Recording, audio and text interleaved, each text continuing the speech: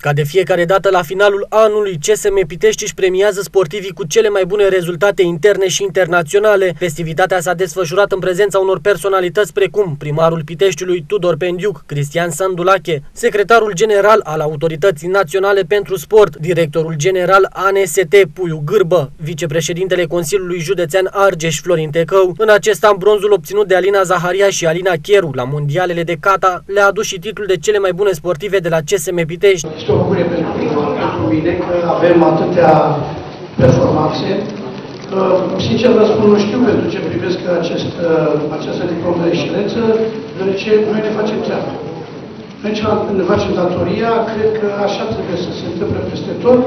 Performanța trebuie să fie soțită de, de premieri. Pe lista de premiere s-au regăsit toți sportivii cu rezultate importante în 2011, absentând de la premiere doar Ioana Doagă, aflată în cantonament în această perioadă a anului.